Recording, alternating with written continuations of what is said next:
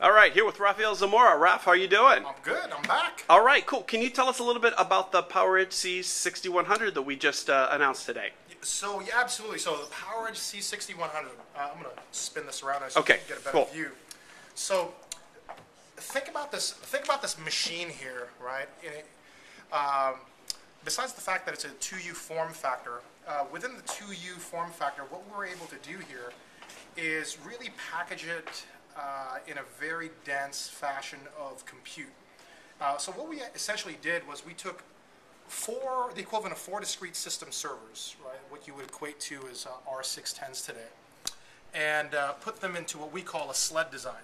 And each sled is individually serviceable, mounted through the back, and that's that's number one. Oh, wow, cool. Number two, there's more. But wait, there's absolutely. more. There's absolutely three. Three? And last but not least, here's the fourth sled. Right? So as you can see, for each one of these sleds, what I got here is actually not a compromise of a server, but a true production server. It incorporates two, a two-socket design, Tylersburg chip, Nehalem microprocessors. Right now we launched Westmere, so we've also got Westmere. It's got 12 DIMM stick capable machines, right? So you see the DIMM sticks here. It's got a PCI Express expansion slot. It also has the capability to add a mezz card, right? All within inside this 2U package. And remember, it's times four. All of these things have a very, very efficient mating feature as I would slide it out through the back. Voila. Very cool. Dual redundant power supplies as well. Also swappable through the rear. One, two. And let's go to the front here.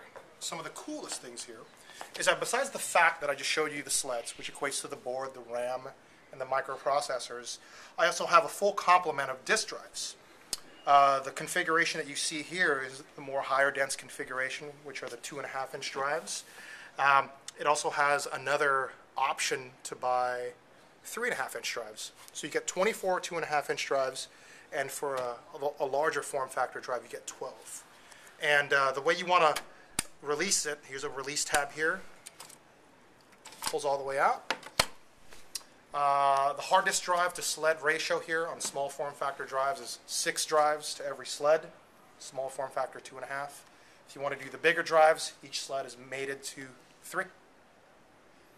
Little high level. And um, Barton, anything else? No, that's very cool. Just quickly, what uh, what type of applications would you would you be using this for? So there are a lot of applications uh, this could be used for. Uh, the high performance compute cluster uh, folks love it because you can get InfiniBand down on each sled.